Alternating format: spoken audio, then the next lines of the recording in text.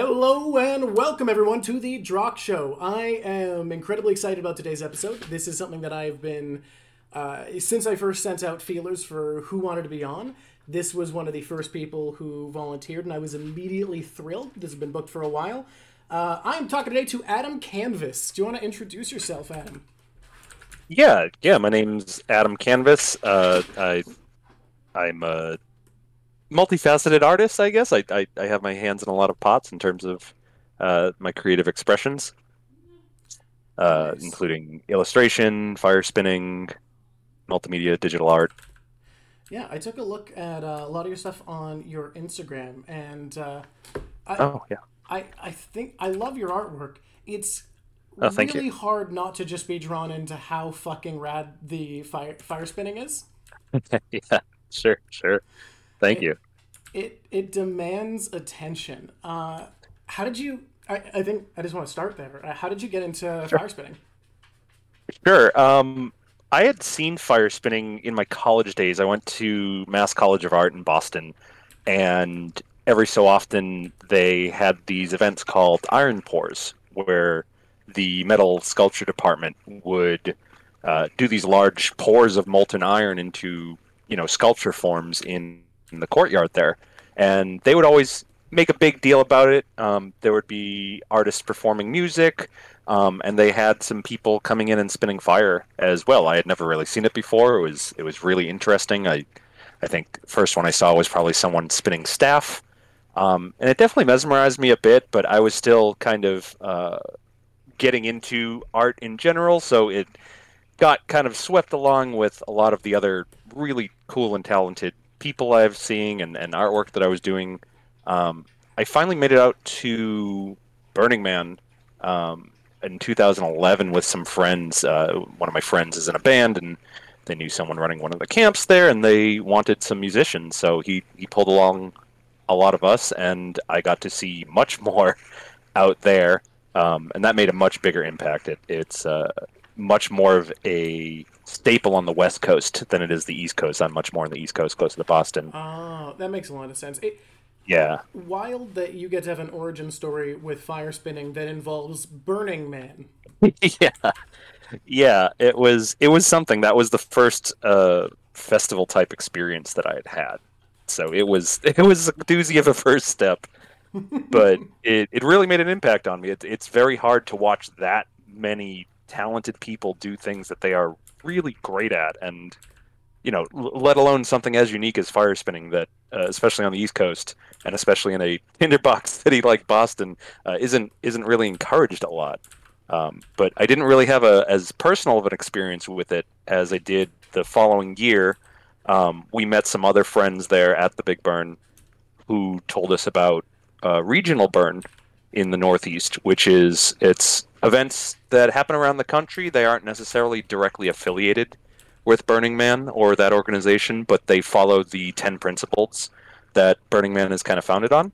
Okay. Um, I didn't know about the 10 principles. Uh, do you mind Oh. going through that real quick? Yeah, yeah, it's a it's kind of a great little um, guideline that was created by the original founder of Burning Man, Larry Harvey, um, back in the mid two thousands.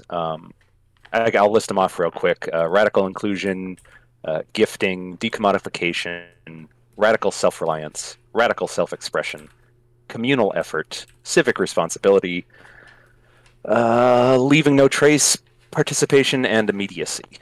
Um, and they're they're more or less self-explanatory, but um, you know, it, uh, on the surface, it's um, it's welcomes everybody into the community.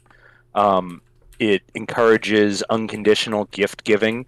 Um, it encourages um, a a noticeable lack of commercial sponsorships or any kind of commercial transactions, actions, or advertising. Um, relying on yourself uh, and your own inner and outer resources to be able to pull your own weight, um, self expression for expressing whatever it is that is in you for art um, that you are kind of giving as a gift to other people. Um, a communal effort, which it you know all of Burns are community efforts. They're they're very different from normal music festivals in that sense of the word. You're you're there to not just see amazing things and and uh, be enthralled by everything going on, but also to help make it happen. Um, I think that's a big part of Burns is they're all volunteer run for the most part, at least the regional ones. I, Um, I actually didn't know that. I hadn't uh, heard someone. I, I've talked to people who've been, but I've never heard that aspect explained. I think that's very important to the identity. Yeah, for for the larger Burning Man, there is a an organization that runs it. I believe they're a nonprofit, but for I from what I know of the regionals that I've heard of, they are pretty much mostly volunteer run. They are not profit industries or anything like that. Um, communal effort. Uh, I just went over uh, civic responsibility is um, it kind of ties into the next one, which is leaving no trace. Is you're you're kind of valuing um, public welfare, uh, not just uh, conceptually, um, but also physically, uh, respecting the space and leaving it better than you found it. Um, participation kind of speaks for itself. But everyone's invited to come play. Everyone's invited to come work.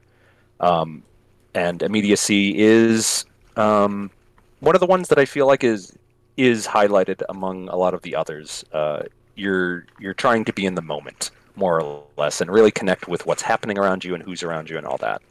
Um, so those are those are the ten principles of of Burning Man and a lot of the regionals, uh, as they're referred to, the regional burns, um, kind of have smaller versions of Burning Man where they try to emulate it based on these values. Burning Man itself is, I think, probably close to 60, 70k people at this point for a week out in the Nevada desert. Oh my god, that's Where- that's so much to imagine. it, it's it's a lot. It is it is overwhelming. I've been I think four or five times, and in every single time I've been, it's it's just still awe-inspiring. But the the smaller ones, the regional burns, are still in their own right very awe-inspiring, but a little bit more manageable on the scale. Uh, for reference, the one that I attend called Firefly, which is in the Northeast, takes place in Vermont and kind of pulls in the whole Northeast um, burner scene, but some people from further away. Uh, last year we had about, I believe, 1,200 people. So re- really much smaller um, than than the Big Burn, uh, and it is in the Vermont woods as opposed to uh, the Nevada desert. I- So it makes things a little more manageable. I, I am. If there's going to be one of those that has 60,000, one of those that has 1,000, I'm glad the one in, in the in the woods is not the one with 60,000. Yes, yes, yes. There's uh, there's a little bit more responsibility to take with the um, with the landscape. You know, each each environment has its own things to worry about and um, things to clean up after yourself for. But the forest is is definitely its own beast for sure. Hmm. So, what sort of performances were that uh, kind of drew you in, and how did you how did you make the plunge? What was your first step from being enthralled to trying to learn it yourself? Well, after I I attended Firefly, and even just halfway through the week, I was kind of in the same state as I was even at Burning Man, where it's just like, wow, this is huge. These people are amazing. Such talent. They must have been practicing their whole life. They're levels above me. It it felt the same as watching something like Cirque du Soleil to me. It it you know Mhm. I I was just overwhelmed by the talent and felt that it was almost you know something that you just naturally look at and like wow that's amazing out of reach though and with firefly being so small um, it's much easier to walk around and talk to people and get to know people and um, it i would watch someone perform you know this mesmerizing act of spinning a staff and doing uh, what's called contact moves which is moves where you're not necessarily spinning it with your hands, but it is rolling along your body, and it almost looks like it's stuck to your body as you're manipulating it around. And the dude came and sat down next to me and the people I knew. He was a friend of a friend, and we just hung out in a group and we talked, drank a few beers, things like that, and it just settled in after a little bit. As obvious as it seems now, is just oh, this this is just a dude, and you know he he's he's a nice guy and everything, but he doesn't seem any, uh, you know, not to be mean about it, but he, he seems on the level with me. He doesn't seem any more particularly talented or or anything except for the the discipline to take the time and learn. Um, Hmm. So it was kind of at that moment, you know, I, I I talked to people more about it, and as soon as you talk to anybody in that community, about saying, "Hey, I'm I'm kind of curious. I'd kind of like to learn."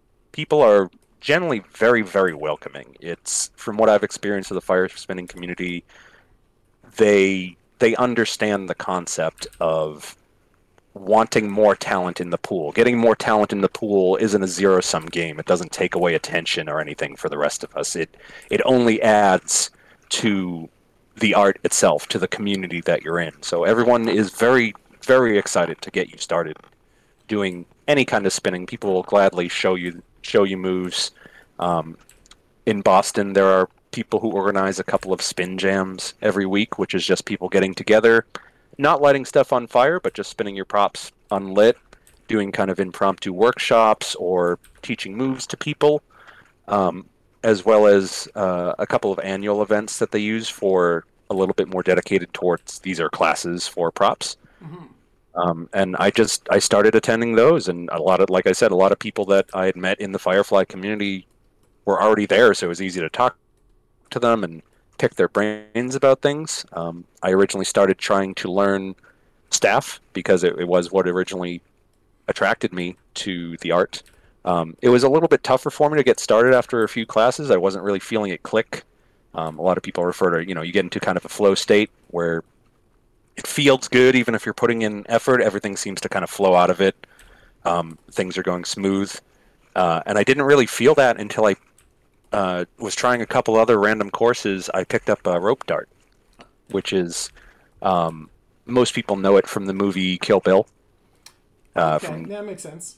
The go-go character, yeah, but that that's essentially a rope dart. What she had, having the chain as a rope, is a little bit unrealistic. Her poor palms, um, but usually it's uh, a long rope with a weight uh, on the end of it. There are kind of several different shapes, um, but that I picked it up and it just instantly really clicked with me. Uh, I wasn't an expert right away or anything, but it felt good and it felt like every failure was learning, which is another really great aspect that the spinning community teaches you.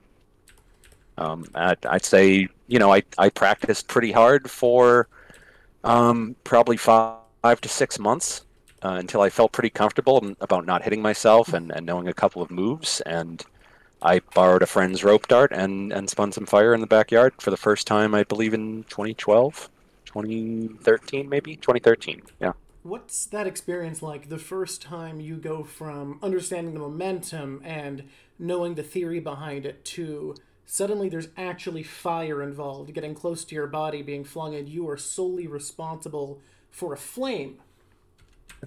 It is it's overwhelming. It's it's terrifying. It's exciting. I will say the thing that always sticks with me, frankly, even to this day, is just how loud the fire is when it's around you. You are so used to, as a human, having fire in front of you and having it static, more or less. Mm-hmm. It's sitting in the fireplace. It's sitting on the campfire. It's on the candle. Um, but you know, if, if you really think about it, even in things like movies or if you've ever held an actual torch or anything like that, the fire does whoosh it as it goes from side to side. So you turn that into constant motion and you have just a. I would have never thought about that, but I, I can imagine yeah. that would feel kind of overwhelming at first, going from the near silent dagger floating through the air to this mm-hmm. roar. Yeah, it's it's it's really something. Um, it at least for me, it instantly made me, you know, it, it's fire anyway. It made, but it made me respect it even more with this, this sound that I I was totally unaware of, and this element that's like, oh yeah, fire, sure, humans master fire, we're good with it, and then you're all of a sudden seeing this this different side of it, where it is moving around you, and like you said, you are responsible for it, and you are in, you know, a decent bit of uh, at least just danger of slight injury. I wouldn't say it's it's too life threatening, mm-hmm. but it it is it's overwhelming and calming at the same time to me. I, I find it a very easy form of active meditation. Uh, it's it's very easy to stay in the moment when it is something you are concentrating on, and uh, feeling it move along with your body and trying to control it as as you wish to control it. That makes but, a lot of sense because I've, I've heard from a lot of people that um, an aspect of good meditation, because meditation is just focus. Like realistically, focus is what meditation is. So a lot of people find activities that demand focus are like uh, a hack towards meditation. So I can't imagine like it, that risk of harm has to force meditation in a sense once you get good enough that you're not terrified. Yeah, to a degree, I feel like that might it it stands there a little bit more as the quote unquote danger at the beginning. Mm-hmm. But I think like a lot of things, once you get a couple of taps, you realize that it's not that bad. Okay. A lot of a lot of people always ask like, "Oh, aren't you scared you're gonna you're gonna catch on fire?" Or I have a big beard, and everyone always asks if I'm gonna burn my hair off. And it's really not like you would picture it. It, it. It's not as Hollywood as the fire touches you and you're instantly immolated and running around. Anybody um, who's tried to start a campfire knows that that's not how fire works. yeah, if only it was that easy for those moments. but the fuel that we generally use, the props themselves are made of, Kev, of Kevlar, hmm. of all things. Um, and we there are a lot of different fuel sources, but the ones that I know that most people use are, are white gasoline or camping fuel. Mm-hmm. Um, they used to be used a lot more in camping stove, but those have gone more propane lately. So they're a little bit tougher to find, but you can find them in the right hardware store. Um, it is a uh, odorless burning and um, smokeless burning, and you know clean burning. So very different from gasoline or anything else that would put out a lot of smoke. That makes um, and large, large amounts of fumes. Um, but the fire is is basically just burning the fuel, which is soaked into the Kevlar like a sponge. So if you get tapped by the prop while you're spinning, you might get a quick little singe. You might get a couple of, of frayed ends uh, on the end of your you know body hair or head hair. Mm-hmm. Um, but a lot of people just toss some water on themselves if, if it's going to be a particularly big flame flame and that they're not comfortable with. Um, and most spinners uh, become aware very quickly that the most danger you're in for injury is towards the start when the fuel is still soaked very very saturated into the prop and hasn't burned away as much yet so there is a possibility that if the prop hits against your body it can transfer some of the fuel onto you much like a sponge that's a little bit overloaded and that fuel could still be burning oh. so that's that's really the only I'd say the the most common danger and a lot of the most common times that fuel transfer would happen. But these are calculated risks, and adding to the safety of this is um, the knowledge that most good fire spinners will pass along, which is do not wear synthetic fibers, wear natural fibers. That is very good advice. Um, it's very important advice, and honestly, it, it's something that I always try to extra emphasize because it is one of those things that can go out the window if you start becoming a little too used to it. And oh, I've I've spun fire for this many years. It's fine. I don't need. I'm not going to hit myself. I can wear whatever I want, and it's fine. But uh, it, in reality, there have been plenty of stories about you know established veterans of the community getting large burns on their body from wearing a synthetic costume and and lighting it up and you know, it's it's it's really rough. It can happen to the best of us. So, um, you know, reducing the risk like that uh, at the start uh, with the spinner is is one way to reduce it.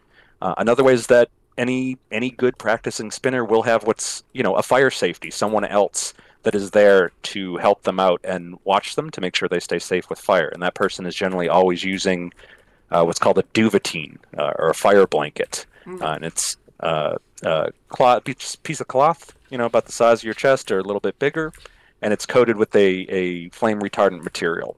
So it's used in case somebody's, you know, if someone's jeans say get a little bit of fuel transfer on it and it's not quite going out, or the person quite can't get to it. The fire safety's job is first to yell out, "Hey, leg, fire!"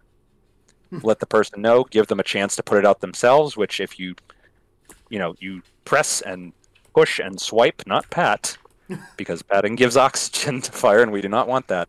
Um, smothering the fire real quick uh, can generally be done pretty easily, but if it's in an odd spot, or if the person for some reason doesn't hear their safety, the safety is expected to run up with the blanket and kind of smother that spot and put it out really quick. Um, they can also use the blanket in, in, the event that for some reason or another the spinner needs to stop. Maybe their prop got tangled or uh, they're having a, a, wardrobe malfunction or uh, got an unexpected injury, anything like that, uh, they can do the same thing with the duvetine on the prop and just smother it out really quickly. So mm-hmm. between those two things, again, calculated risks, uh, knowing where your weak points are, and just keeping an eye on them. Um, the more you see how well that works with yourself and other people, the more confident you get. I think with the fire. Uh, have you ever found yourself in need of your fire safety uh, in a significant way, or have you been mostly just that's there in case? Um, no, I mean I've definitely had a couple of incidents. I wouldn't say they were really huge. Uh, my biggest one was I was kind of doing this move where the dart goes up behind my back and swings down around the front, and it just caught on my shoulder just a little too early and swung down and honestly just bapped me right in the eye. And it wasn't really the fire damage that got me. It No. just one of those really solid. Yep, that poked my eye hard enough that I need to close both eyes. Uh, So in that case, I, I just dropped to my knee. I, I put the dart as far away from me as possible, and I just called out for the safety, and they put it out, and that was that. Um, I recovered in a couple minutes, and that was fine. Um, but you know, I've had countless other times of just someone yelling out to me, "Hey, leg," or "Hey, arm," mhm. something something really quick like that uh, to put out here and there. But no major incident, uh, incidents. You know, knock on wood. But uh, I I do try to stay vigilant. I don't, like I said, I, I want to respect the fire. It is a very destructive element, and it and it can do a lot of damage very quickly if you let it. So, uh, you, while you are, you know, experienced in controlling it, it, it can still always get out of hand. It's like uh, it's, it's good to consider it like a wild animal. I think it sometimes. Okay. It, it sounds like, um, I mean, obviously, uh, you build this very, uh, this much clearer understanding of exactly what fire is and does when you use it as a medium compared to, uh, I think the average person has probably only ever experienced fire as a tool rather than a medium. Yes. Um, it's like how uh, a carpenter understands a blade a lot better than someone who's only ever used that for uh, cooking. Yes, yeah, I think that's a good example. In fact, you see you see a good carpenter at work, or even a good chef with a really sharp knife, and they'll be working pretty fast, and they'll have comfort with the tool, Mhm. even if they're still respecting it and understanding how it can hurt them. But their experience and their time and their relationship with their body mechanics uh, provides them that confidence in moving forward. Of okay, here's how I do it safely. Well, I think you just highlighted something with the saying, um, understand how it can hurt them. I think if you understand how something can hurt you, that uh, fully, that comes with also understanding the ways that it doesn't hurt you. Yes. Uh, so you don't give necessarily the uh, credence that someone might in unnecessary places. I also, I, I think you're definitely right that people focus on the "aren't you scared of the fire" element because that's where my brain goes. To the point that when you mentioned just getting hit in the eye with a heavy object, uh, it, it wasn't until that moment that I went, "Oh, right, there's a f- heavy thing flying around quickly." Also, that I haven't Yes. been considering in this.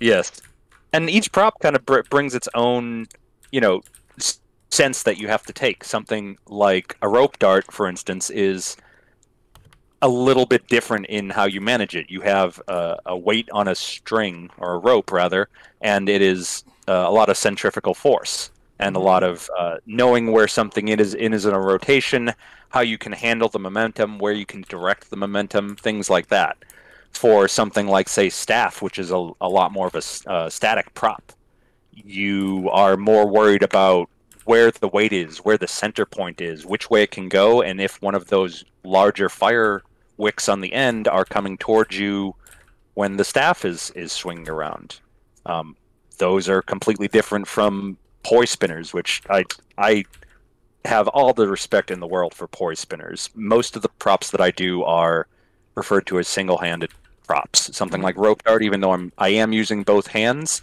it's tied to one of my wrists and the other one's kind of guiding it. Um, I am kind of doing the same thing with both hands, more or less. Whereas poi spinners have basically a, a tiny rope dart on each hand with a shorter stick, and they are doing different things with each hand. It's very ambidextrous feats, and it is it is amazing to watch that. And that has a whole whole different set of dangers to watch out for when you have two little ropes that are doing different things at the same time. So you Oh, you kind of just get to know each prop and its personality and its strong points and its weak points and its sneaky points where it wants to try to bite you. uh, and and you just you roll with that and you work around it and you you fail upwards and you learn. Does anything stand out to you as through your experience in kind of learning, mastering, uh, getting the hang of this, whatever, however you want to feel about it? Is there any point that stands out to you as like one of your favorite moments in developing and practicing this skill? Ah, that's interesting. Um, I mean, honestly, I I think it would have to be when I started picking up a couple new props. Um, it's it's really interesting to watch your brain figure out how things are the same but different. Like I said, I kind of had a, a bit of a problem really clicking with staff when I first started.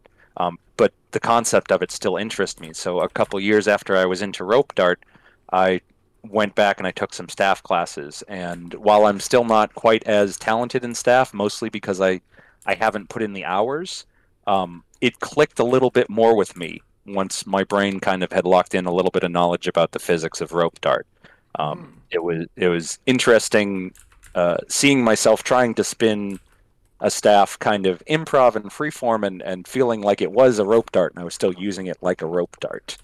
Um, so that was a fun a fun little brain click that you can feel going and you're like, oh, I get it, same but different, same but different. Okay.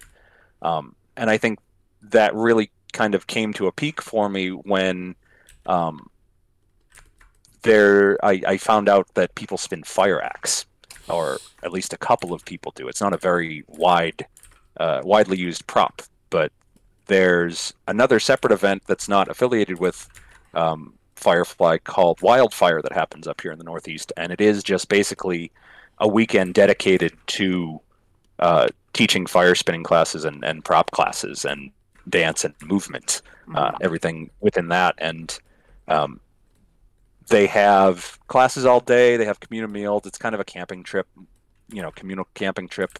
Um, and then every night they basically have kind of a, a, big burn field, which is, you know, they clear one of the larger fields. And as long as you have a safety, you can just um, jump out and spin fire for as much as long as you want. Um, and one person there had this gigantic fire axe that I saw one time. And it, it really, it, it, it felt like I was seeing fire spinning for the first time all over again. It was just so cool to see that much fire and to see it moving so differently because of the nature of the prop, the shape of the prop. Um, I talked to my partner, who you know I, I also met at Firefly and through the fire spinning comedian, nice. who is I'm lucky, who is also a fire spinner. Um, she saw she saw that in my eyes for sure, and I mentioned you know even just offhand like man, I need to figure out how to get one of those. Um, and she was able to commission one from the um, the fire prop company that, again, luckily enough for me, is located right here in Boston. Um, huh. And so they were able to make this this really nice prop. Uh, it's essentially it's the shape of a classic kind of double-headed battle axe. Um, the Kevlar itself is in a flat piece in the shape of that battle axe, and there are uh, it's sandwiched in by aluminum pieces on either side, um, so that the edges are still open to the Kevlar. Um, and man, I, I swung that around and the weight was different, and even just swinging around an unlit axe shaped thing really just fulfilled a lot of uh, childhood uh, pretend fantasies about fighting ninjas and orcs and all that. but man, the first time I lit that on fire, uh, you know, I'd always felt like a fire spinner, but when I, I was able to spin and handle that thing lit up, it it felt like I was getting really getting somewhere. It felt like okay, I'm I'm leveling up in this. I'm I'm starting to feel comfortable. This is this definitely something I want to keep doing. Um, and it, it, was just really great to feel this surge of confidence for that. Um, confidence that you know sprung out of again a a terrifying and exciting moment of lighting that up. And if you think something you know the size of your fist, like a rope dart, is loud when it's on fire. uh, a really, with no exaggeration, the only way I can compare this, the size of this axe's flame is uh, it just it's a campfire on a stick. Oh my and, god! I like to, I've I've I've rolled with the joke of when I talk to people about it, I say eh, it's maybe a little too much fire, but it's fine, and there's a lot of truth in that. I'd, I'd say. Oh, that's so rad, though. Hey, how would you? How would you phrase the difference of feeling of swinging around like a torch versus a campfire? Like, how how does it feel in, in your body to be swinging that much weight and heat around and noise yeah it's i mean it's again kind of same but different like i said about a lot of props um, it almost feels like you know if, if you're playing video games it feels like you're just doing different class the the smaller one is a lot more about dexterity and being a little bit fancier and pulling out the speed um, and you're still obviously doing deliberate motions, but you're you're kind of really rolling with the momentum, thinking about your next move while you're doing your current one, feeling things come up really fast. Um, mm-hmm. It feels very light and airy. I've been able to throw in a couple of jumps and things even in there into my routines over the year. But with the axe, it's uh, it's much more grounded. It's a much more tanky feel, uh, a much more kind of earth-based class. I feel like I very much stomp my feet. I get rooted in the earth. I make large big deliberate movements. Um, the momentum I feel like doesn't carry me away as much as the rope dart does. Whereas the rope dart sometimes feels like I am directly dancing with it, with the rope dart leading sometimes. Uh, whereas the axe feels uh, a little bit more, um, you know, like I'm I'm in charge here, even even if uh, I'm a little scared of it. like uh, almost like it it demands your respect to the point that you need to be assertive with it. Yes, yes, I think that's a very good way to put it. The uh, the rope dart feels more like a gentleman's agreement, and the the axe is more uh, a a firm reminder of uh, you know who what's going on here and what I have to pay attention to. So it, it sounds like a lot of uh, what a lot of the appeal, a lot of the community um, that you've talked about is very much centered in that uh, same music festival mentality of um, collaboration and sharing, uh, especially in the effort to push people or uh, to, to introduce people to it when they're curious to make it accessible. Um, has there ever been any issues in the community while you've been a part of it uh, with like corporatism? Because I remember years ago that thing where like um, contact juggling was going corporate, and that was like a calamity in the contact juggling community. Has there any been has there been anything similar in fire spinning to that? Not that I'm aware of. Uh, you know, I I definitely fire spin. I fire spun professionally. I'll say honestly, not nearly as much as some of my friends do. Uh, a lot of I've I've done fire spinning for money, for some nice side money here and there. I've been in, you know insured so that I can do events. I've done some private events. I've done some public events, um, and it's been fun. But I, I know people that travel the country mm-hmm. to do this and and have busy seasons like that. And at least in my experience, um, we've never really seen anything go corporate. The only corporate that we've seen is corporate events suddenly being like, "Oh, hey, this looks like luxury entertainment. Can we get this? We'll pay you."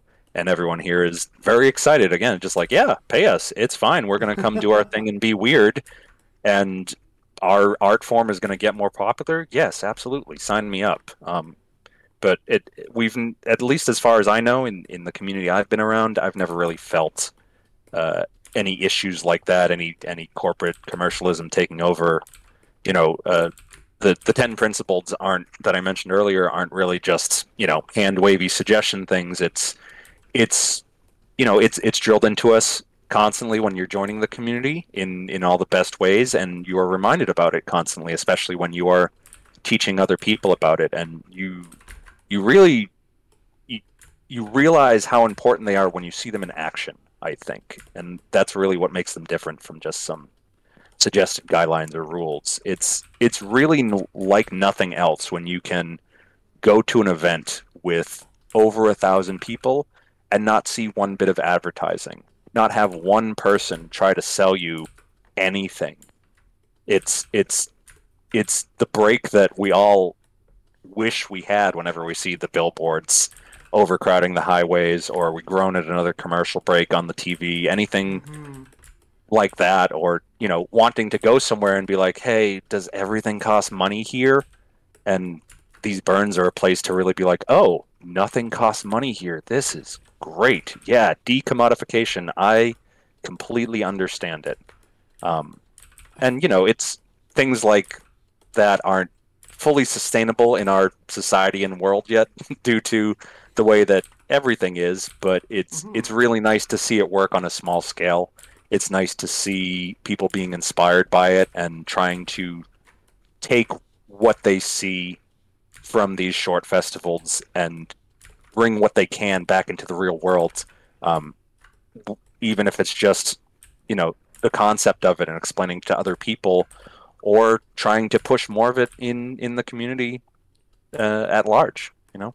So let me know if this is just um, an insane nothing take, but uh, there's this um, concept in early punk culture called rotten, uh, where the idea was to live off of and promote the use of aspects of uh, the modern society that had been deemed unfit for basically for consumption, but more unfit for profitability um, and to reclaim the rotten as a way of life. And I feel like there's kind of something inherently bound to classical punk thinking in fire spinning, it feels like.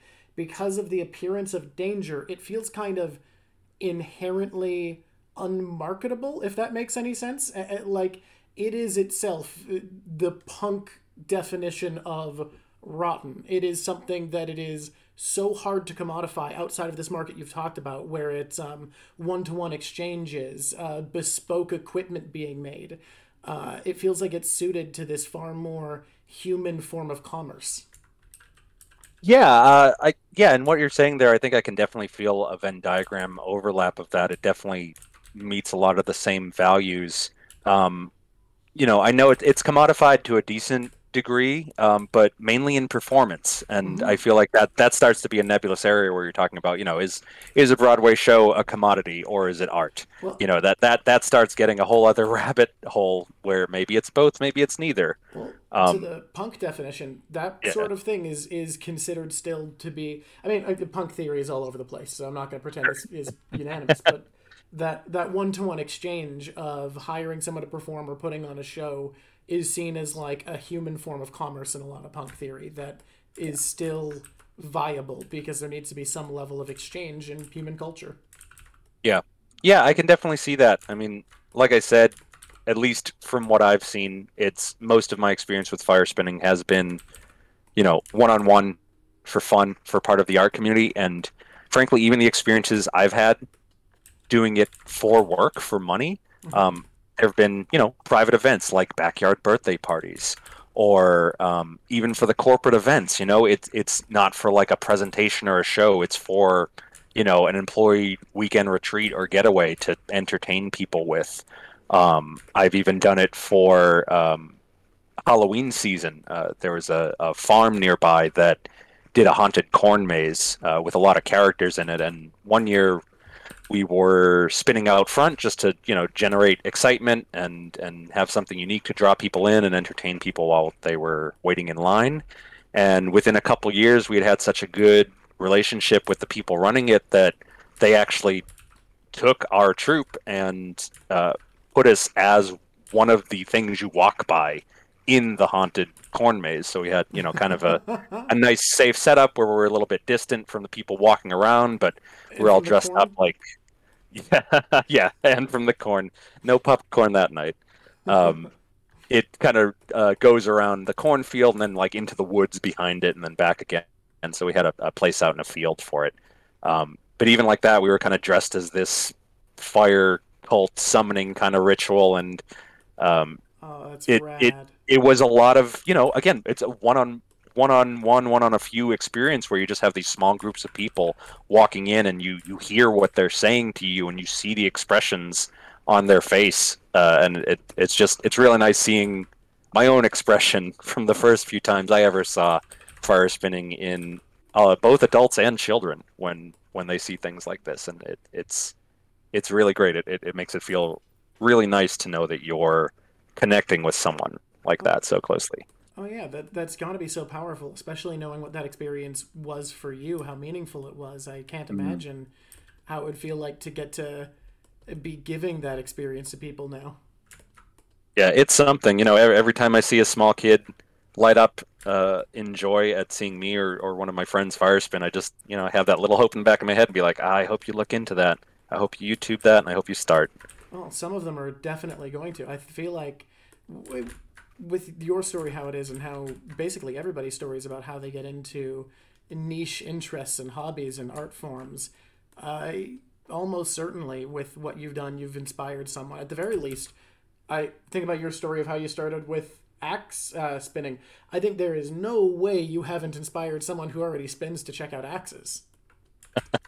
Yeah, yeah, for sure. Um, even just in the community around me, um, you know, I definitely get people asking to to spin the axe, and I've let a couple people do it. Um, there's only a couple people I've I've trusted to do with it on fire, and I, I do have some strict policies leading up to that. I got to watch you spin it not on fire. I got to make sure you're Mhm. definitely 100% sober and you know no synthetic clothes. I gotta I gotta be a big overlord over it, but um, it's it's great to see uh, other people be inspired to pick up fire spinning and frankly the, the the moments that are the most humbling for me are seeing other fire spinners in the community that I know have been doing it longer than me and do other props but watching them watch me and have the same expressions on their face as I do when I'm watching them and have them come up to me afterwards and be like that was an amazing performance that was incredible I can't believe you did what you did and it's just I I I can barely handle it sometimes. Of just you know, it. Uh, I'm so I'm so lucky to uh, be in a supportive community like that, and and know that we all affect each other, and we all just build on each other. We all build each other up. That's so goddamn cool to hear. I, I love that idea of like, because you found uh, with the axe this unique piece that, uh, that I mean, it, it's it is so rarely done. Like, I I had never heard of it being a thing. Like I'd heard of rope darts, poi. Uh, I think I saw someone do something with nunchucks, but that was probably Yes, Yeah. Okay. Oh, yeah. Okay. nunchucks is absolutely a thing. Okay. Oh, yeah, I'm that- not making, that's always that wasn't very a dream. No, no, yeah. Generally, people have it. Uh, they have it lit on the ends of the nun- nunchuck, so you're still free to spin it so you can around the chain. Yeah. Yeah. Because that's why I was Yeah, it- maybe I dreamed that up. Was I'm like, but then how do you how do you do the moves if you can't grab the sticks? it's still impressive. I, I can't believe the, the things people do with things like that with the speed and dexterity. But with but with this unique aspect, you get to have people who've done this longer than you still be blown away because you found like you found a unique niche in, in a niche art form. Yeah, yeah, yeah. It it, it feels nice. I, I love bringing novelty to people's day if I if I can brighten them up through something and um you know it, it it's it's fun. I, I'd like to try to play play to my crowd if I know who's around me. So sometimes you can kind of feel out and it's like, well, is this one I'm gonna play kind of serious or am I gonna get a little bit goofy with that? I've I've ranged from you know uh, playing a a paid gig up in a place called Ice Castles in New Hampshire, which is literally they make a castle out of ice that you can walk around. and um, they hired fire spinners, which is genius move. Um, and you know, if I'm I'm sitting there and they want it to be kind of mysterious and badass, so I'm wearing my hood, and they're playing you know some Game of Thrones cover, so I'm playing it super serious, doing the badass stuff. People are gasping mouth open, but then you know cut to me at Firefly. I'm around a bunch of my friends, and we're all spinning fire to Disney songs, and I'm doing uh, the Gaston song with my axe, Oh, that's Uh, fantastic. and just really hamming it up. So it, it's it's a versatile art form in that sense. I love that so much. It's so good to hear. Yeah, it's it's great. It's the some people I feel like that I've talked to here and there they they don't really make it too big of a thing, but um, you know I've had some some people say like oh you know it's a little it's a little edge lord you think isn't a little kind of close to like swinging around a mall katana and you know it's whatever they can think what they want to think. Oh. Um, Hey, I sorry, no, you go first. You go first. Oh yeah, I was just gonna say I, I personally I I like having the axe not just as a um, as a unique prop, you know, a niche within a niche, like like you mm-hmm. so wonderfully put, but it I like feeling a little bit more connected to kind of the origins of fire spinning, which um, you know I know there's there's a lot of mixed reading on it, and I know it's sometimes it's it's tough to find the exact origins because a lot of this stuff goes back before written tradition. I know that there's some things in Scotland with their Beltane fire festivals and appeasing fairy folk, um, but a lot of what we know from the earliest stuff, I think, is uh, it's like Polynesian. Mm-hmm. Um, a lot of those fire dancers were tied directly into um, their armies and their soldiers, uh, using these as performances to kind of show how skilled they were in battle with their weapons. So it, it, it feels like a neat little direct connection back to that. That that that practice has made itself to us through land and, and time and space, and it's gone back around from looking looking pretty into you know showing your prowess with a, a particular piece of equipment. Mm-hmm. Um, so it, it, it's neat in that sense, and I do you know I I'd love to um, try to honor the the traditions of it uh, and where it come from, uh, where it came from, um, where I can, because even the rope dart itself is um, from Chinese tradition, and we have not that much written history about that, just little bits and pieces that a lot of people always try to put together. So um, it's not just the fire dancing that uh, you know I'm kind of following in the footsteps of Shoulders of Giants and all that, but also just you know the equipment itself. And it's it's really interesting to stop and think about that sometimes. That I'm just sitting there spinning to a Disney song and and having fun with my friends because of this rich tradition that goes back thousands of years. It's it's really surreal sometimes.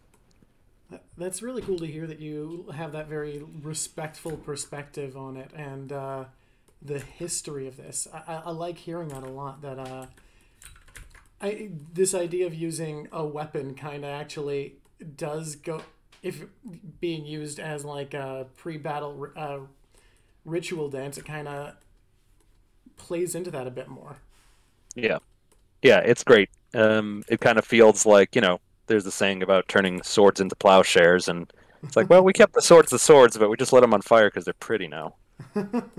I, I, mean, there's probably if I would imagine it's uh, almost certain that like even without wartime, uh, fire dancing or fire, fire spinning, sorry, was still performed by those cultures. Uh, yeah, yeah, absolutely. Polynesian and, and Samoan cultures uh, really, really held it in high regard um, a lot of different um, you know things based in the military tradition but again like over time things like that just naturally form into arts you know mm-hmm. battle battle was an art form when it would when it took up so much of life and it was so important in terms of your tribe and, and everything like that but uh, if it turns into ritual that and tradition that becomes even even more important you know um, and i know it you know it jumped from polynesia to uh, New Zealand, and then of, of course to Hawaii, and you know, very very rich tradition there. And I, you know, pun intended, I guess I, I wouldn't hope to hold a candle to um, the Samoan styles, the Hawaiian styles, uh, Tahitian styles. It's if you ever look up videos of those, it's it's just really unbelievable the the things they can do, and I I I, I have nothing but respect for that. I mean, my philosophy on art is that pretty much for every person, there is going to be something that they will see that they couldn't have created. And hmm. that's why, regardless of where you perceive your own skill level, uh, art is worth doing for having done it. You are still contributing something that is exclusive to you. And I, I think when you talk about people you are certain are better than you uh, being awed by what you're doing, I, I think that's that plays into that that idea that you're still contributing something incredibly you in the way that you're doing this. Yeah, absolutely. I think um, it really pushes that idea of you know making art is is not just narcissistic and just for you when when you do it in the right context. If you are doing it in a more you know public uh, uh, situation, it you are directly doing it because you want to express yourself publicly and show other people about it but you know in hopes of getting other people to do it too. I, I mean, at least me personally, as, as an artist, if I have, if anybody comes up to me and says like, "Hey, I'm doing this thing because of you," then that's, you know, what else can you ask for as an artist, knowing that you haven't just brought your art into the world, but you have brought someone else's art, and then from that, someone else's art, and it can, it can just be exponential from there, and that's what, uh, frankly, the whole of Firefly feels like. You know, as much as I've talked about just the the fire parts of it, is you know I'm sitting there doing a lot of my fire dancing. I, I do some body painting. Mm-hmm. Um, I you know I help make and and build some of the theme camps there. But you've got a lot of these engineers from the MIT crowd in Boston doing these really amazing LED lights and setups. Uh, a lot of these unbelievably high tech setups for something that's in in the middle of the woods that's just an art installation that that looks amazing and is this great mix of uh, you know science and art uh, you have people making food and, and giving away meals and that's that's an art form in and of itself. You you've never really had pizza until you've had pizza that someone has expertly cooked in the middle of the woods i feel like you know? Um, so it that's I think really the upside of, of finding a good arts community and and really trying to be a part of it and participate in it. Because like I said earlier, you know, it's it's you're just building everyone else up. If you're enjoying someone's art and you're enjoying it vocally and it is a situation where you can just literally walk up to that person and say, "Hey, I liked your thing. It affected me really deeply. Please keep doing it." You know, that that's directly contributing to the community. That's making that person want to do more art and inspire you and inspire others and you know uh, do something with their own self-expression. It's it's it's a really good feeling to see that kind of feedback loop happen in a community. Yeah, so that's actually the segue. Uh, I want to talk to you about the arts community. I, yeah. What just kind of broadly, the Firefly Arts community. What is the what are the goals? What do you, what do you do? What do you put on? Uh, talk me through the basics of it. Yeah, I mean, it is mostly centered around the event, which is you know yearly, usually in July around the fourth. Um, it's the goal is to have a a multi-day arts festival that is uh, non-commercial, that is participatory, and that is community-driven. I think, like I like I mentioned at the at the start, it's all volunteers. No one is getting paid to be here. Uh, whether it's the person helping you park in the parking lot, the person you know helping uh, you know someone that needs help with it, bringing their bags all the way to their camp from their car, or whether it's the people that are on you know the Firefly board making all the big decisions about you know how the budget is being spent and who's getting art grants and, and things like that everybody is there because they want to be. They are not getting paid. They care about this event. They care about this community, and they want it to happen. And uh, as much as it is just mainly one event with a couple of other events scattered out throughout the year, um, the the festival itself, the week long festival itself, is kind of the main point of it, and it's. It, I think it really speaks to the the scale of it to see how many people and how much time is needed just to make that one event happen every year uh, you know to to the scale that we want it to happen you know but there's a whole month of work weekends before the event starts that again all volunteer run and all volunteer for if you go up and you go up you you camp out for a weekend and you do what needs to be done trees need to get cut down trails need to be cleared new trails need to be made anything like that, you're you're there and you're helping. And then a couple weeks later, you come to the event and you're like, oh, I dug that trail. Oh, I cut down those trees in that clearing that someone's using as a fire circle now.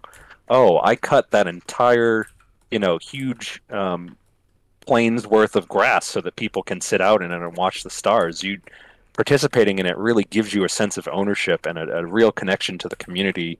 And attending the festivals lets you see your direct the direct results of your of your efforts which again a feedback loop. It feels good. You see other people benefiting from what you're doing. Uh, you're enabling artists to do great things with the space. You like it. You want to do it more. Other people see you doing it and how much you're enjoying it. They jump in and hey next year you got a bigger work weekend the event gets better it gets easier to do many hands make light work That's so rad to hear. I love this idea of uh, it. It being entirely volunteer driven is so crazy. I, earlier when you were talking about Burning Man, it got me thinking about how like I feel like I've only ever heard uh, the external narrative of Burning Man. Um, now, mm. I'm, I'm a Canadian, so a, a lot fewer sure. people I know are likely to have been to it, and the Canadian art scene is. Mm-hmm. While most of Canadian and American culture are pretty similar, I'd say one of the more different things. I think Canadian art scene tends to be a little elitist sometimes. Hmm, interesting. Uh, but hearing the internal perspective on these uh, on these events is so cool. It's it's so different than how I feel like it's pitched in broader media, and uh, yeah. it's really important to feel to to get a sense for the reality of it. Yeah, it's it's frustrating sometimes to kind of see the depictions, and you know it. I, I can't deny some of the stere- you know some of the stereotypes exist for a reason, mm-hmm. but you know when when you really look at it in context, you know, saying Burning Man is like this is like saying Boston is like this or Los Angeles is like this. Mm-hmm. You know, it, it's it's very weird to completely condense what is an entire city, 60,000, 70,000 people into a one sentence of oh they're just doing this or this is just a bunch of wooks or a bunch of smelly people who just want to do drugs or anything like mm-hmm. that. It's it's very reductive and um, it is one of those things that you know and i sometimes hate when people say this but i'm at a loss for anything else it's very hard to really put into words what the experience is like unless you go and you do it. It is just a scale like nothing else. It is uh, an attitude pervasive around all the people around you that is like nothing else of just belonging and welcoming and inviting. And you know, like I said, it is a city, and to a degree, your experience there is led by you and what you're doing. Coming back to you know some of the the, ten principles, the the immediacy, the radical self reliance. You know, if if you want to go out to Burning Man or any of these regional burns and just go crazy and not have responsibilities and dance all night and lose a ton of sleep, uh, you know, really get lost in the sauce, you know that that's your prerogative and the experience is there for you to do it if you want to go out and you want to do nothing but get involved in the art and really look for the performances and uh, really get caught up in any of the interactive uh, art exhibits out there um, then that's your prerogative as well you know there, there were a couple days at burning man where you know i i chilled out at camp and i i helped you know, run the bar or I helped clean up some um, some stuff for Greywater or anything like that that the camp needs all day. And then at night, I hopped on my bike with a couple of friends and we just, you know, darted from art sculpture to art sculpture that we could see. He's like, oh, that thing looks interesting. Let's bike over there. Ten minutes later, hang out at it, go to the next one. You know, and and I, I, I'm perfectly happy with that experience, and it's not something that comes out as a as a big stereotype a lot. Um, mm-hmm. So anytime I hear somebody say, you know, Burning Man is this, or you know, all burns are like that, or all festivals are like that, you know, it, it's hard to take seriously. As frustrating as it is to hear the the stereotype perpetuated, it there's so much more than the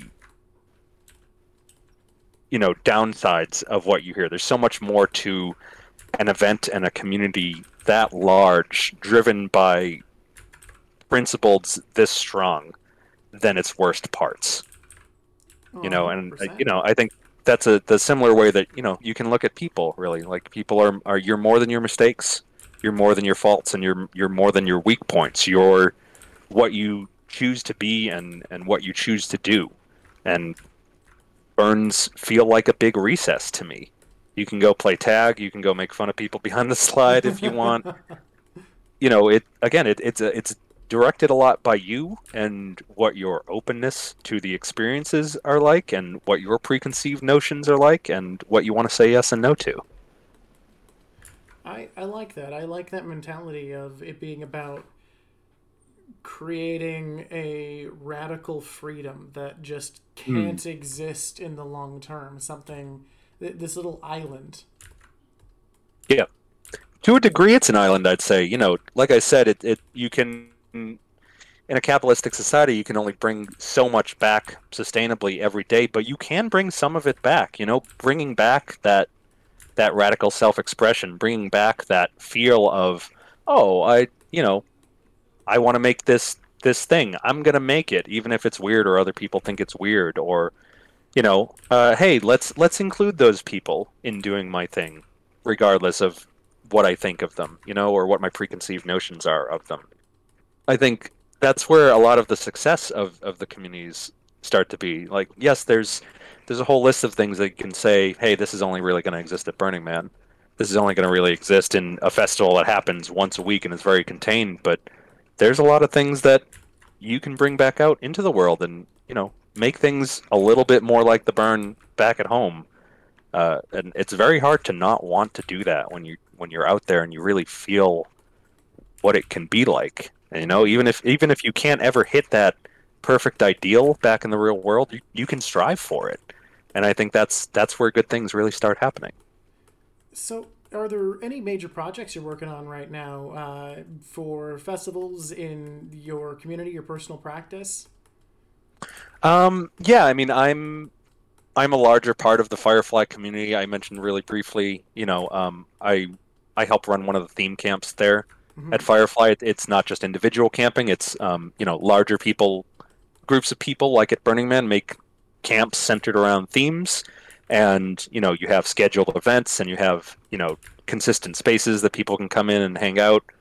Um, so I help run one of those with a, a, really great team of people that just make amazing things happen. Um, but I also uh, have recently started volunteering for um, one of the larger volunteer courts at at Firefly that make things happen, which is the Fire Safety Corps. Okay. Um, I'm on that with one other person, um, and between him and me, we take care of you know all the fire regulations for fire pits. Um, we handle any any art that people are making with uh, with fire, you know, with propane poofers, anything like that. We inspect them. We make sure it's going to be in a safe place. Uh, it's going to be run responsibly, things like that. Uh, and we handle, you know, the the larger effigy burn uh, at the end that is a big characteristic of, of uh, most festivals like this. Um, talk with the fire marshal, get the proper burn permits, make sure everything's at a safe distance, things like that. So those are the major things on my on my plate. Um, for the camp, um, I'm kind of a catch-all guy. Uh, my partner and I kind of rolled in 2013, 2014, and, and picked up the, the leadership that was missing in the camp to, to make us a little bit more cohesive and open to the community. Um, and like I said, we've picked up a great team of people along the way, which has meant that I've I've been able to entrust other people with um, with different responsibilities that I might not be the best at, such as running our music stage, um, you know, handling membership dues, figuring out how many people are going to come and where they're going to camp, things like that. And I've settled into some of the roles that I feel like I excel at more, which is um, helping with the lighting around camp.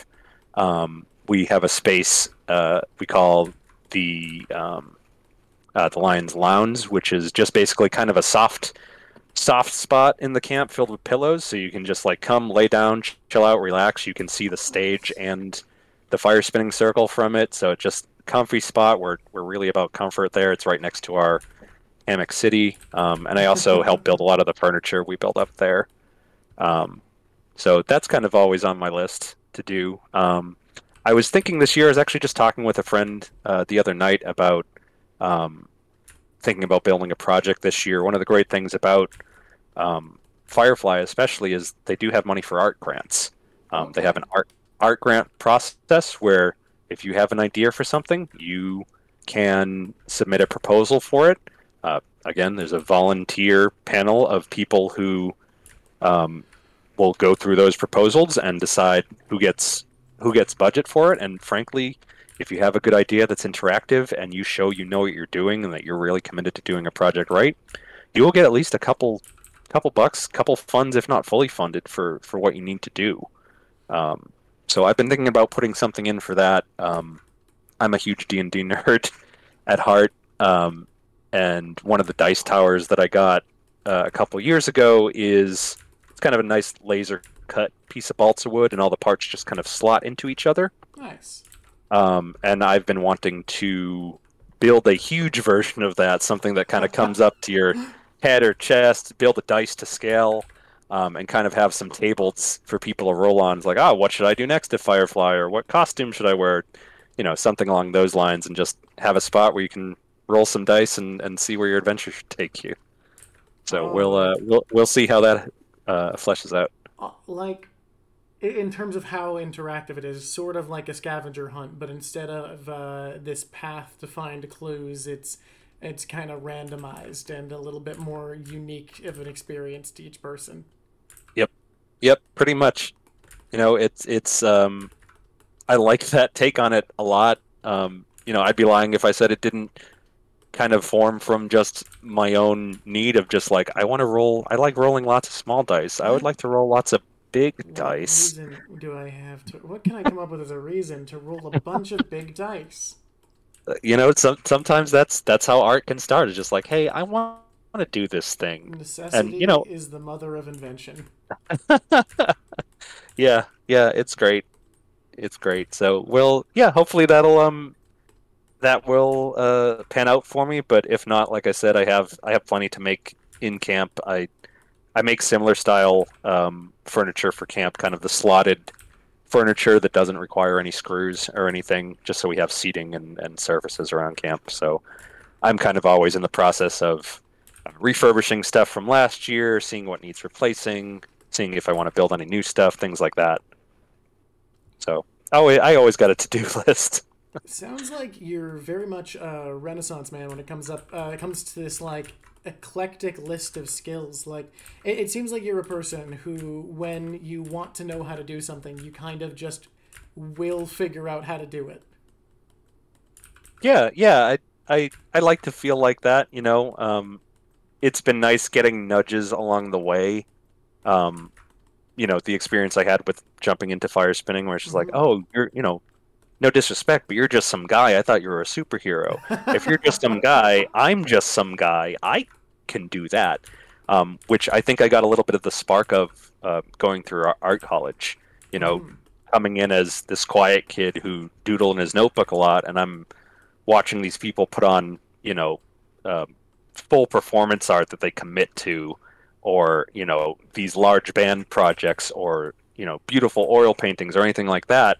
You see people doing all these talented things, but it's just like, oh, dude, I I just saw you, you know, get sick eating too much macaroni and cheese in the lunchroom the other day. You're just the dude, and you're just putting time and effort into a space, just like I could yeah. um, it, it's still impressive not to be too reductive about it it's Mhm. very impressive to see the results but the, the path is clear and it, it comes down to your decision and your um, discipline and, and effort that you put into it to get something out of it so you know when you look at things like that in terms of a lot of self-expression skills like that you're not that limited you're really only limited by what what you're scared to try and um, you know what you do or don't want to put the effort into. Oh, I absolutely, I, I, re- I agree with to that. That's a lot of the philosophy behind starting this channel was just trying to put in time and do what I could to express. Yeah, That's- that's great. I, I, I, I, I think that's really it's a it's a great way to go about this is having these interviews with people. You know, I, I think is is approaching that same experience that I had. You're you're humanizing people. I I think one of the really great tragedies that people understand about the arts is or misunderstand about the arts is this myth of inborn talent.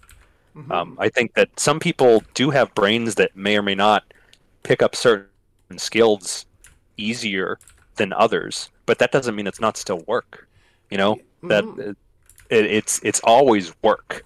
You know, when someone says, I, "I wish I could draw like you," you know, "I wish I could fire spin like you," anything like that, it's just like, "Oh, well, you totally can. I have put this many hours into it. I've failed this many times. I've been frustrated this many nights with it. If you do all that same thing, you might even be better at me than it if you have a particular Mhm. you know, uh, a brain that might pick this up um, and understand these systems a little bit easier than I do.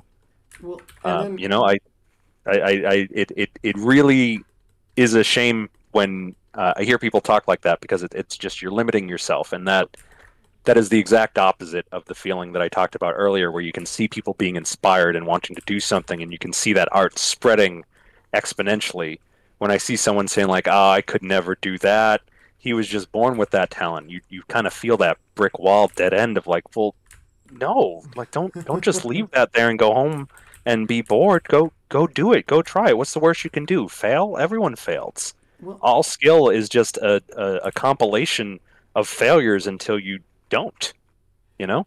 And then thinking about you with starting with the rope dart, I think even if people have this I think talent as far as aptitude for what you learn easily absolutely exists, like you mentioned. But when you think about you at first with the staff, feeling like that's what fire spinning is supposed to be, that's what you've seen, and it wasn't quite clicking, and then you tried the rope dart and it felt more right. I think even if you don't have a natural aptitude with the approach you feel like you're supposed to have with an activity, you can find something that suits you. You can find your own path. Um, I think there's a lot of artists uh, who, obviously, visual art is what I have more knowledge in, but I've seen a lot of artists who lack a particular skill, so they develop a style where, as much as they try their best to learn that skill and they work hard at it, they create an art style that leans into what they are good at, um, that mm-hmm. favors where their aptitude is, and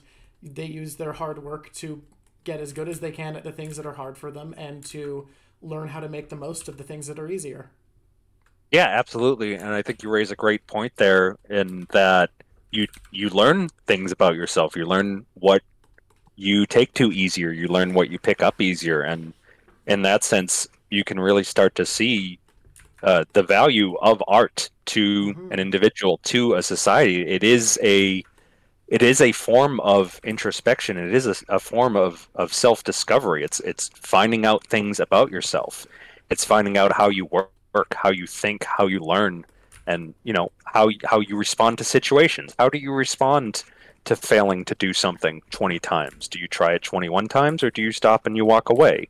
How are you feeling when you fail like that? Are you um, encouraged because you know each failure is is teaching you a lot or are you getting upset at things you know with those kind of insights you can you can look at yourself and carry that that kind of knowledge to any non-art part of your life if if such a thing exists you know but um, mm-hmm. it's it i think art is is really important and um, it's unfortunate to see it be um, or undervalued a lot sometimes as just kind of a, a luxury where I, I think it is kind of an important part of human experience is to find something that you like creating some form of expression whether that's something as wild and outlandish as you know fire spinning or trapeze or something as small as having a tomato garden and just being able to eat a couple tomatoes a year that you grow or writing a couple little short stories that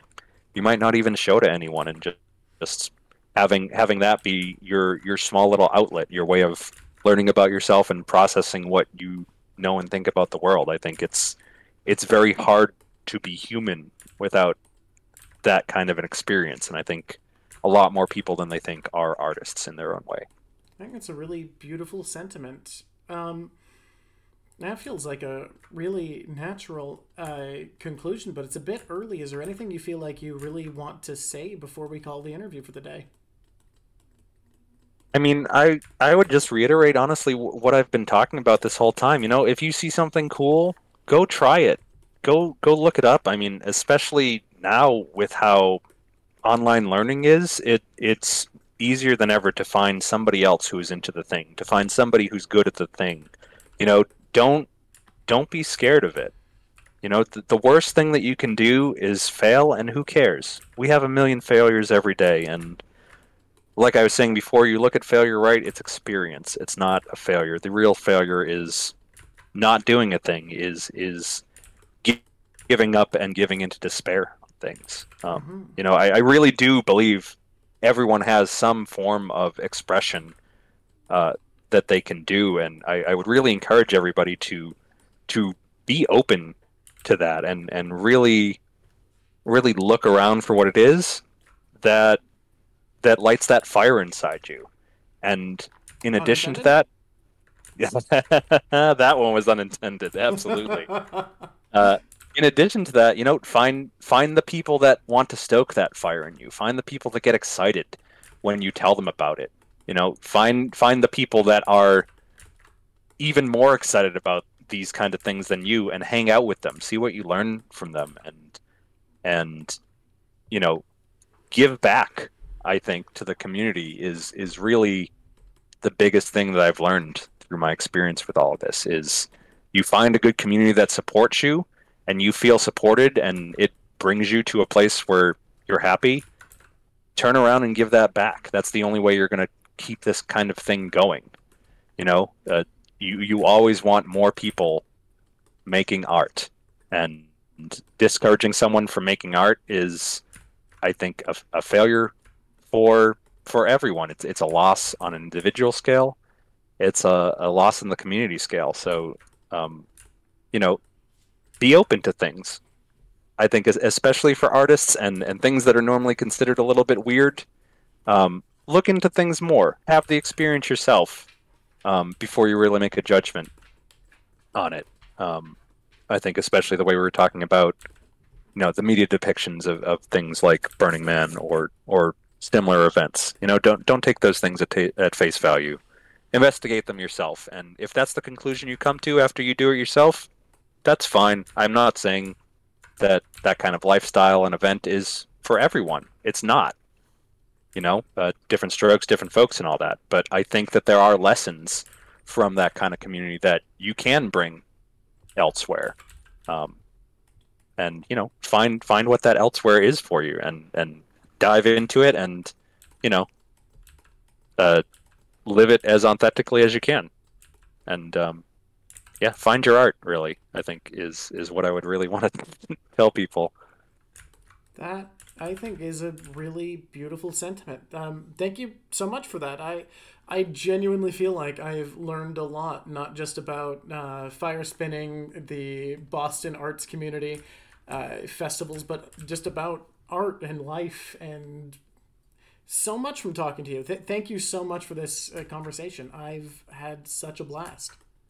Oh yeah, thank you so much. This this was really great. It's um, you know, when you're saturated in a community like this, I I rarely get to, you know, blab about it at, at length. so it's it's it's great to be able to kind of externalize this and um, and you know introduce people to to something maybe they they weren't as familiar with and you know humanize it a little bit more encourage more people to do it i'm just a guy and i i picked up and learned stuff and and you can too hundred percent. Uh, thanks for enabling the message. You know. and as we're closing out here, do you have any social media you want to plug? Any projects other than uh, Firefly? Obviously, plugging that. Um, no, I you know I'd say yeah, look up the Firefly Arts Collective online. Uh, there is another electronic mu- music festival also called Firefly, so don't get fooled. This one's called Firefly Arts Collective. Is the one you'll want to look up for this. Um, you know my my Insta is Adam Canvas. Um, my website portfolio is the Atom Effect, E F F E C T dot com. You can see videos of my fire spinning there. You can see some of my um, some of my other work. My I do a lot of motion graphics uh, and illustration work nice. um, and body paint. So uh, you can check a lot of stuff out there. You know, I, I would love to hear from anybody. You know, re- reach out if uh, you want to know more about this stuff. I, I would be happy to speak more at length about anything or, or helps direct someone to a community nearby them. That is awesome. I thank you again, and I hope you and everybody else out there has a fantastic rest of the day. I've had an absolute pleasure. I hope that you've had a, a good time. Uh, audience, Adam, everybody else. Until next time, have a good one. And uh, quick, before you, that's the end of the video part that'll be uploaded, but before you go, just in the part that's not for the video, I just want to just say a really genuine thank you. This was so much goddamn fun to talk about. Thank you, man. No, it was great. You, it was very easy to talk to you. You, you had some really great prompts. You, uh, you got me thinking in, in ways that I wasn't before. This, this was an absolute blast. Uh, I appreciate how open you are and. Um, uh, the questions you're asking, uh, what you know, what that brought out of me. So I, I really appreciate it, and Really glad that is exceptionally high praise and all I could ever hope for. I just uh, jumped over to, to Twitch to peek at your art. I didn't want to look at it during because I wanted to concentrate on the interview. But wow, man, that is that is fantastic. Really great work. Wow. Wow, wow, wow. Hey, when, Ah. when you first said you spun fire, I was gonna do like a series of poses rolling through, but the second yeah. you mentioned that you did axe, I was, I was, I have to, it, I have to focus on that. It has to be like this, just one picture highlighting this is a fucking axe that's on fire. Yeah, yeah. Oh man, it's great, man. Thank you so much. This is great. You know, if, if you ever want me on again, I'd, I'd be more than happy to. Absolutely. Uh, it's so great. It, it looks amazing, dude. Thank you so much.